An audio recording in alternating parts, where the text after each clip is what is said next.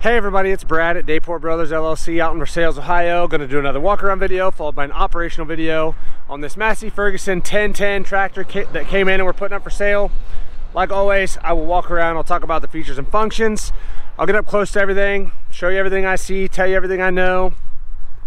Then of course we'll fire it up, show you the three point arms going up and down, lifting and lowering the mower deck, engaging the P PTO, engaging the mower deck, letting you hear the engine. As always, if you are in the market for a used tractor, a used piece of farm equipment, or a used piece of construction equipment, please subscribe to the channel. Please like the video. Your likes and subscriptions help other people who are looking for equipment find our machines and find our videos, and we truly, truly do appreciate that. All right, like I said, this is a 1010 Massey Ferguson. Obviously open ROPS. It is four-wheel drive, hydro. It's got the belly mower, three-cylinder diesel engine. It's got turf tires, it's like all the older machines with those diesel engines. You've got to glow plug it, but then it does start up good, runs good. There's a little bit of blow by. Very straight machine. It has been repainted at some point in time. If you get up close here, you can see there's a little bit of paint on this black that's kind of come over. So it has been repainted at some point, at least the, the hood and the fenders, I believe. Front tires are pretty decent there, probably, I'm gonna say 35% or so. I think I'm being pretty fair there. Front rims, again, there's a little bit of paint chipped off in some spots, nothing out of the ordinary. Rear tires match up pretty well, about the same. I'd say 30, 35% tread life. There is some weather checking there. I don't know how well you can see that, but there is a little bit of weather checking there. Again, some paint peeling here on these rims. They've been repainted as well. Back here, the three-point arms look good. Everything's in good shape back here. 540 PTO. Everything on this rear end looks pretty good.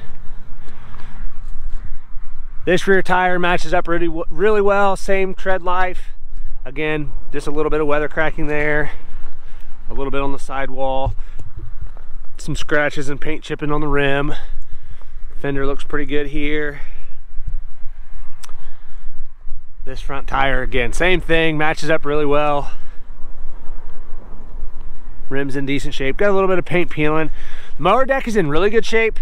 I don't see any cracks or welds or anything that's been patched on the mower deck. It does not have this shield here, so we're selling it the way it is. It doesn't have that shield extender there. But pretty honest for a older tractor there. The front is very straight. That mesh is in real good shape. It doesn't really look like it's been driven anything banged up up here in the front. Take a look at the engine here.